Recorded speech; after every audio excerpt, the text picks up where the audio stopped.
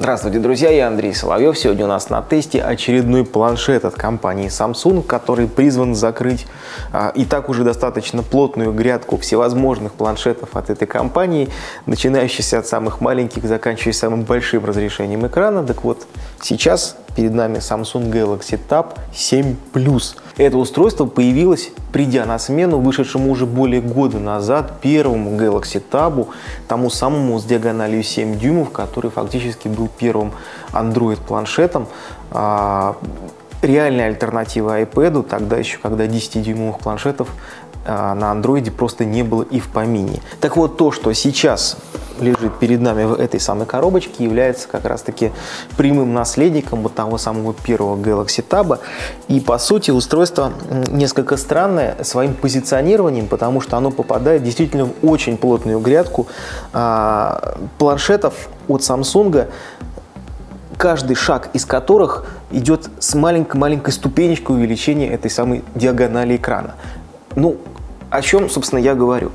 Если брать э, самый маленький Galaxy Note, который, в общем-то, тоже наполовину является планшетом, он имеет диагональ 5,3 дюйма.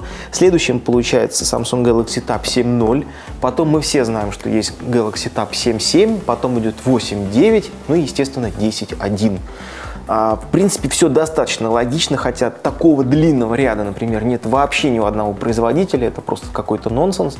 Особенно Galaxy Tab 7 выглядит странно на фоне того же самого Galaxy Tab 7.7. Разница в 7 десятых дюйма диагонали это примерно сантиметра полтора. Зачем делать два планшета с такими близкими характеристиками? Сначала мне было непонятно, но сейчас у меня есть для вас простой и элементарный ответ. Все просто. Экран, который установлен в Samsung Galaxy Tab 7, фактически полностью переехал из первого Galaxy Tab 7500. А, со всеми плюсами или минусами, хороший он или плохой, нравится он вам или не нравится, а, но этот экран это самый обыкновенный TFT дисплей, а, которому уже достаточно много времени, используется теперь и здесь.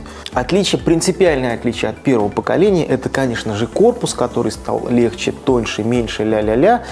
И, естественно, это начинка. Современная, производительная и быстрая начинка планшета по большому счету использование не самого передового дисплея а, позволило бы компании Samsung продавать его не очень дорого, но как-то сейчас пока мы это не замечаем. Так, в частности, у меня в руках версия, имеющая 16 гигабайт встроенной памяти и модуль, э, соответственно, для карточек microSD. Так вот, здесь есть еще и модуль 3G. Вот эта штука продается по цене 19 900. Э, мне кажется, что для 7-дюймового планшета, пусть даже с модулем 3G, это все-таки несколько великоватая стоимость. А, мне кажется, что красный ценник был бы на эту штуку где-то в районе, наверное, 1015-16. Сейчас те самые 15-16 тысяч стоит версия без модуля 3G. И вот этот, сам, этот самый как раз шаг, вот эти 3-4 тысячи, было бы неплохо сдвинуть как раз таки вниз. И тогда этот планшет бы совершенно четко вписался в свою рыночную нишу и в свое понимание, для чего и для кого он нужен. Ну, давайте уже перейдем непосредственно к устройству и посмотрим, что оно из себя представляет, коли уж оно попало к нам в руки. И выскажем какое-то мнение по поводу того, а, какой производительностью и какими потребительскими характеристиками оно обладает. Прежде чем мы начнем, я думаю, что есть смысл снять пленку с экрана, дабы этот экран предстал перед нами во всей красе. А, итак, чем примечателен Galaxy Tab 7? А, первое, на что обращает вся внимание, то, когда ты берешь его в руки, то, что а, соотношение сторон 16 к 10 и, собственно, сам по себе экранчик действительно очень напоминает первое поколение, абсолютно так легко и правильно ложится в руку. Он имеет такое же разрешение, как и у предыдущего аппарата, это 1024 на 600 точек и, собственно, те же самые углы обзора и ту же самую цветопередачу. Что еще приятно и что точно стоит отметить, все-таки товарищи из компании Samsung, видимо, прислушались к моим мольбам по поводу того, что не надо а, удалять слот microSD из своих девайсов и Samsung Galaxy Tab 7 Plus оснащен таки слотом microSD. Вот он под крышечкой. И сюда можно втыкать карточки microSD емкостью до 32 гигабайтов. Также очень приятным моментом, который тоже стоит отдельно отметить, то, что сим-карта, которая используется для Galaxy Tab, семерочки, а, имеет стандартный большой формат самой обыкновенной сим-карты, которую мы используем в большинстве телефонов. И вот эти заигрывания с микросимом, я надеюсь, уже закончились, и у Samsung хватило ума использовать все-таки здесь большую карточку, и оказывается, ее все-таки можно встроить в планшет, даже и весьма и весьма тоненький, чтобы там не говорили нам маркетологи других компаний, использующих микросим. Видимо, все-таки по большей части это а, лобби производителей этих самых микросим-карточек.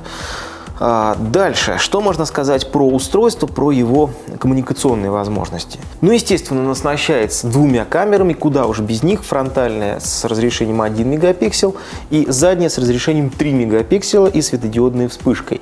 А, такое невысокое разрешение этой камеры пусть вас не пугает, она все-таки не заточена под фотографирование, она заточена скорее под съемку видео. Так вот, это самое видео она умеет снимать в разрешении 1080, то есть Full HD.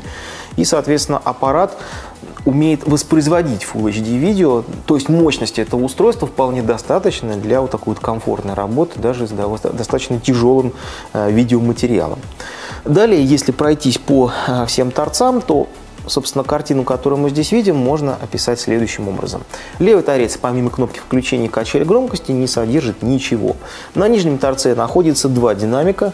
А, тоже довольно странное решение, почему их два и почему они так близко. Ну, в общем, видимо, для какого-то стереоэффекта, но тогда почему их не разнести, например, сюда и сюда, а размещать оба на нижнем торце странно, непонятно.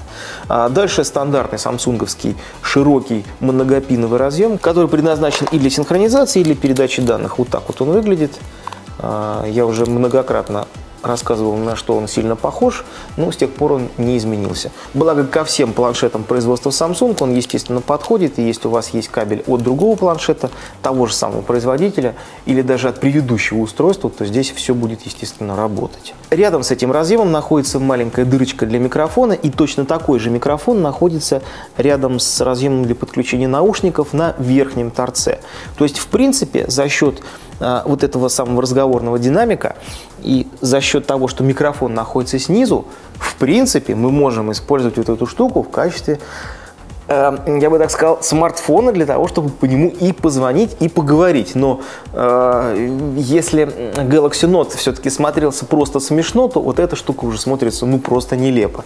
Ну, естественно, такой задачи у него и не стоит, хотя такие все микронамеки, э, даже расположение э, надписи Samsung не э, на горизонтальной, например, линии, а именно по, по вертикали, то есть так как вот мы держим именно смартфон, все-таки намекает на то, что, ребята, очень хотели позиционировать его ближе к смартфону, но мне кажется, что с 7 дюймами это уже совершенно нелепо. Если же рассматривать это устройство исключительно как планшет с возможностью выхода в интернет с помощью 3G, то все встает вообще на свои места.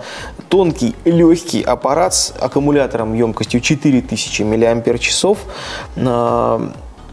Galaxy Tab 7, ну, в принципе, вписывается, по большому счету, э, для тех задач, когда, например, большого полноразмерного там 9 или 10 дюймового устройства вам просто ну, некуда положить э, в силу разных причин, потому что вот такой формат, вот такая штука, она, в общем-то, влезает даже в карман. Что касается начинки, то она в целом схожа э, тому, что установлено внутри э, смартфона Samsung Galaxy S2. Там тот же самый процессор Exynos на точно такой же, работающий на точно такой же частоте 1,2 ГГц, имеющий два ядра, э, с таким же Э, графическим чипом Mali 400. А, а это значит, что, в общем-то, сейчас утомлять вас какими-либо тестами в принципе нет никакой необходимости. Вы можете прекрасным образом это посмотреть а, на тестах того же самого Galaxy 2. А, и по большому счету это получается такой 7-дюймовый Galaxy. Во всем остальном здесь, в общем-то, нет никаких отличий, ну, разве что технология экрана несколько все-таки разнятся. Ну, пожалуй, разве что можно отметить, что работает он, естественно, на планшетной версии Android в данный момент это 3.2, но Samsung уже объявил, что все аппараты обновятся до Ice Cream Sandwich 4.0. А, и Bluetooth, который установлен здесь, он тоже более свеженький, более новый. Здесь, естественно, уже стоит Bluetooth 3.0. И это как бы тоже достаточно интересно. Для кого, собственно, придуман и выпущен получается Samsung Galaxy Tab 7.0 Plus. А, сам Samsung не скрывает, что а, эта модель выпущена фактически на замену первого Galaxy Tab, но если тогда это была единичная модель, и не было ничего ни до, ни после, то сейчас это такая еще одна луковица, которая засунута вот в эту грядку цветущую планшетов Samsung. По большому счету вот эта компания является сейчас по сути чемпионом по модельному ряду, что больше ни у кого нет такого плотного э, бомбометания в сторону пользователя. Э, и в связи с этим выберите вы 7 дюймов или 7.7 дюймов, тоже не совсем понятно. Там вроде бы экранчик получше, а зато этот вроде бы должен и стоить подешевле дешевле. То есть, по большому счету, а, человек, выбирающий это устройство, должен сначала определиться, а, то, что он хочет от него получить. А, если вы найдете компромисс между размерами дисплея, между разрешением, в конце концов, между стоимостью и необходимым набором функций, то есть вероятность, что вы будете жить долго и счастливо, обретете некую гармонию с этим планшетом. А для всех остальных случаев, просто покупая его как в подарок, есть вероятность того, что вы что-то не угадаете там, для того, для кого вы хотите его подарить. Потому что слишком уж большая линейка и слишком много возможностей. Вот, собственно, все, что я вам хотел сказать сегодня по поводу Galaxy Tab 7 Plus. А, в данном случае спасибо компании Цифры, которая, опять же, дала мне с ним поиграть. Спасибо вам, что смотрите Mobile Ho. Смотрите нас дальше, будет интересно. До свидания.